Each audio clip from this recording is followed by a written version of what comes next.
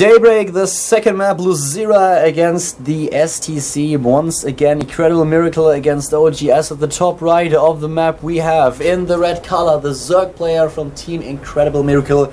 It is LosirA. He just lost the game, the first map he lost on Belshir Beach to the STC because he didn't scout the early proxy barracks of his opponent and well what can I say, the STC was able to take down the main base, at least the main hatch of LosirA. The Zerg player reacted just in time to save most of his drones, he didn't lose all too many of them and was kind of a risky move by the STC, but in the end LosirA lost too much mining, he lost his base and uh, the STC just playing a little bit greedy behind it as well. He went for three command centers in total and was able to capitalize on it.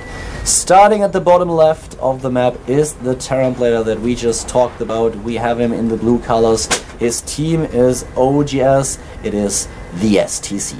Daybreak is a map where a lot of players start with uh, greedy builds and well we have an overlord already scouting time a little bit for LosirA let's see what the STC is going to do right now he has 14 supply and he's waiting quite a bit before building his uh, barracks or the command center he has 14 supply right now so going for 14 command center already moving down with one of his SCVs we will see a CC being built here in just a few seconds while LosirA is on 15 supply starting with a hatch first Still waiting for the command center to be built. There it is.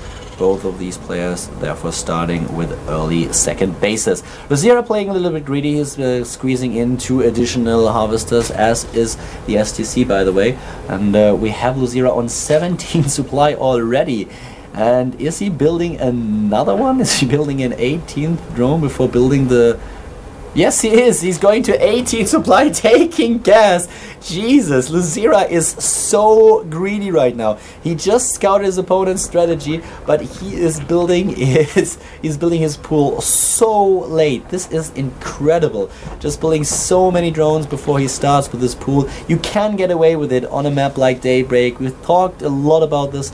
There's one path between the two bases, but it's blocked by rocks, and before they are killed, the distances, the walking distances between the bases, that is, are quite huge. Now the scouting drone follows Zira going into the main base, having a quick look at what's happening. If there's gas already been taken, he knows that there's one refinery. His spawning pool is about to finish. In regards to the harvest account, they are both on 18 right now. And the second base for LosirA just finished. He immediately started to build additional harvesters. He's already getting gas on his own, trying to get enough to start with his uh, speed for the Zerglings right away. And this is a pretty interesting opening into the game. Zira is taking it, well, it's not really, um, not really um, all the, mo uh, the modest player right now. He's just playing really, really greedy, but so is his opponent. Extractor now being uh, built in the main base of the opponent, just trying to steal one, just trying to save the drone a little bit. He's not going to let the extractor finish. Nope canceling and trying to run away, save the drone, that's not gonna happen. Just having a quick look at what's happening over here, and he's still harvesting gas. The SCV is being attacked already by two Zerglings trying to deny the scout, and once again for the Terran player, yeah, nice, doing a good job, but yep, it dies. Yeah, at the same time we have the reactor, uh, sorry, we have the reactor being built, we have two additional barracks, he's going for reactor factory, Hellions once again adding more and more barracks as we speak. Speed is halfway done for LosirA. He's getting four queens in total. He already has two, building two at a time now. And at the same time, we have him on uh, 27 harvesters already. 27 against 24, he's getting more and more of them. He's just relying on his queens now, on his creep spread, on the spine crawls in the back in order to defend against his opponent's units. And there are only Hellions being built so far, so that is not a huge problem. But at the same time, we already have the tech lab being built. So let's see what the STC is going to do. He's getting a double gas already. Not added the third and the fourth just yet. But that double barracks is ready, so we have three barracks in total, and he is going for double reactor while researching stim just now. The Zero is once again building the macro hatch before he starts with his tech, which is not the worst thing that can happen. He needs a lot of larva, especially if he wants to stick to the Zergling strategy that he's been using for quite a while now. More and more drones are being built. He doesn't have any attack units whatsoever. He only has queens, 34 harvesters, getting 8 additional ones, so getting an evolution chamber, spreading his creep. He has two creep uh, slaves right now, so he can hit, spread his creep like crazy, which is exactly what he does right now.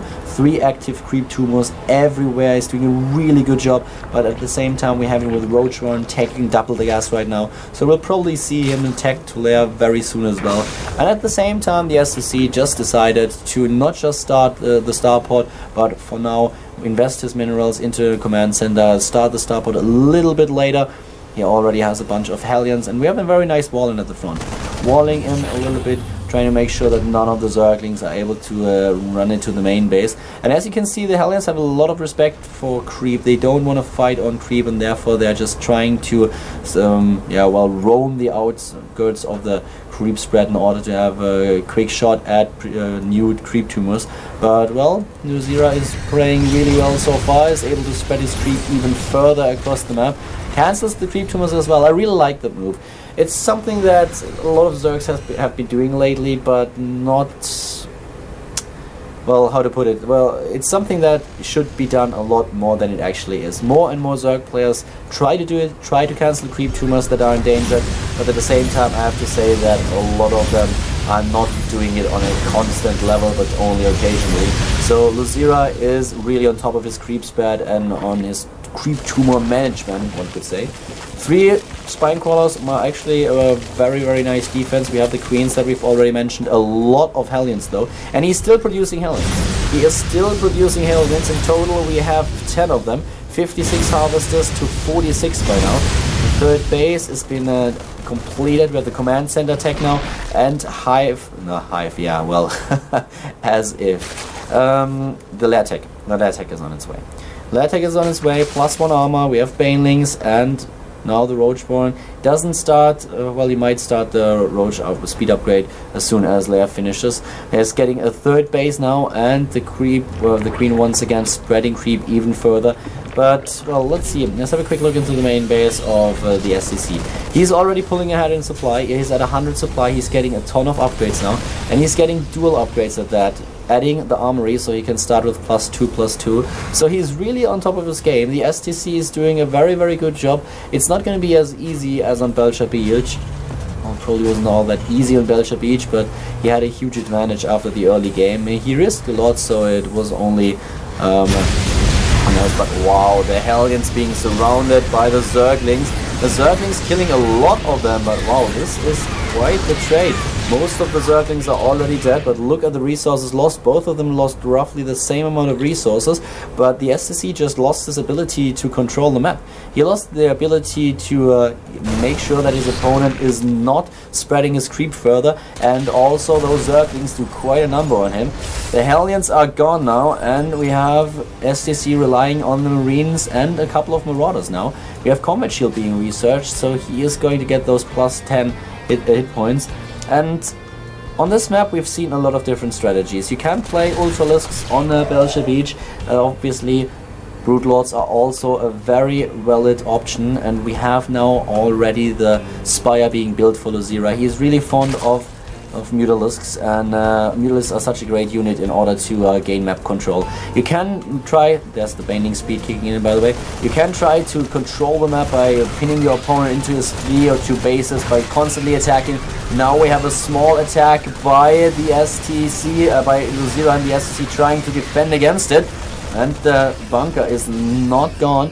Very nice job by the way, picking off that one Baneling, so really well done by the STC so far. He's playing pretty stable, at the same time, LosirA is taking control of the map though, and that's something that a Terran player doesn't like all that much usually. 72 Harvester Supply against 61. The STC is doing pretty well. He's going for plus 1, plus 1, uh, plus 2, plus 2 attack upgrades already. I would love to see him uh, build at least one Thor in order to cope with his opponent's uh, Mutalisk that we will see in a short time.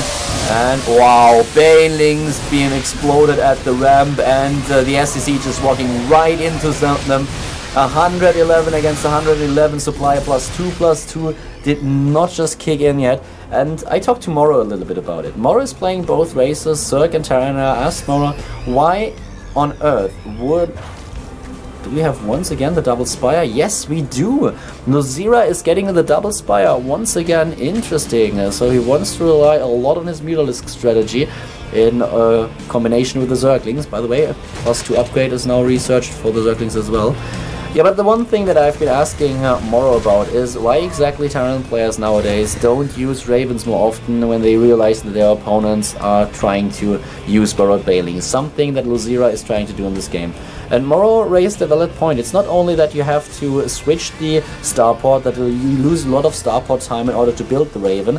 It's not only the costs, but it's the combination of both. And also, Terran players have to rethink their positioning in the game if they would try to use uh, Ravens in order to scout ahead, in order to make sure that they see burrowed banelings and kill the creep tumors because a scan just has such a huge range that using scans is something that gives you so much vision that you always know where your opponent is positioning his army. Therefore you can react accordingly but if you would start to use a raven and save your scans you obviously would have more money but at the same time you would run the risk of being flanked by the Zerg player a lot more often. And it was quite interesting to talk with uh, Moro about it so uh, we'll probably elaborate on it a little bit further in the future but for now we just focus a bit on the game as now the STC is trying to get aggressive. He's getting flanked from two sides, getting sandwiched now. He might not be able to take down the space. The Banelings stream in just a little bit too late. They try to take position, try to take out the Marines, but very nice spread by the STC. I have to give it to the Terran player that he is doing an awesome job at just dodging those Banelings. And LosirA, he is attacking with the Zerglings head on, but the Banelings are way too late in the fight. So that's a little bit of a blunder by LosirA in uh, LosirA's unit control. He's trying to go for a run by strategy once again. We don't have Mutalisks just yet. He's getting plus one upgrades now for the Mutalisk armor. And we have Zerglings everywhere. 2,200 uh, gas and minerals for LosirA. He has a lot. He's waiting. He's not getting the needles to set. Finally, he's starting. He already is on plus one attack upgrade for them and is now getting plus two attack. I have to say that LosirA he, he probably lacks the larva. That's the only explanation that I, I can up with. Yes, finally he's building tons of Mutalisk. He can build even more right now. He's getting Banelings at the same time. Three bases now for both of these players. Supply is 168 to 187. The army supply 120 against 81 Worker supply 85 to 68 in favor of LosirA. He's trying to get a fourth base, and we have now the Ghost Academy for the STC run by attempt with a bunch of Zerglings trying to flank his opponent. 15 Mutalisks are already on the field. He's building 7 additional ones plus 3 plus 3 being researched. Here comes LosirA with the Baileys retreating once again, getting baited into the tank fire. The Zerglings with a run by attempt, but tanks and Marines put an end to this attack. And we have once again the Banelings. Oh, Jesus. Just crushing into the Marauders.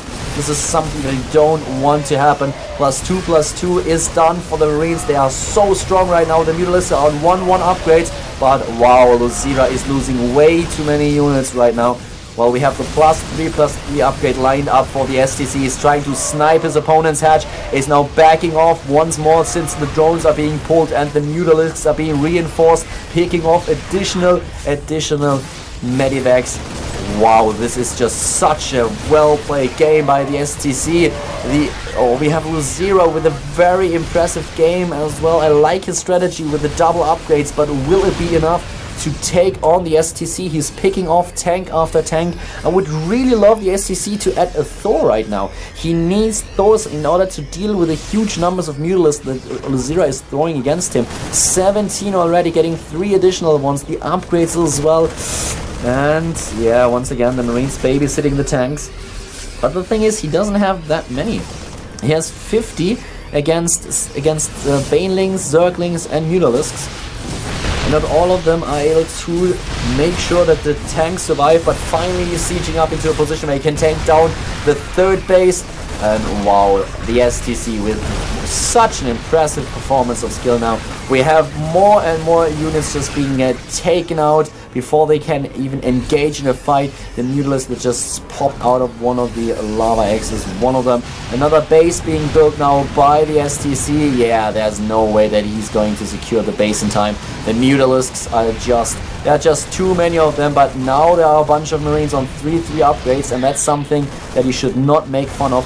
Three, three upgraded Marines are so strong, but the Mutalisks have already plus two attack upgrade. At the bottom right, there's a base full of zero that he can't use just now, and he is trying to get onto the high ground. Banelings being more of the siege. That's so many siege tanks. 14 of them, 61 Marines now, and most of them are with the army, able, able to defend too many Zerglings die, too many Banelings being targeted. Nice target firing by the STC. 186 supply for our Terran player. LosirA is at 110, losing units by the second. And no, the Mutalisks are not enough to decide this game in favor of LosirA. That's the GG, and LosirA loses the best of three to the STC with a 0 to 2.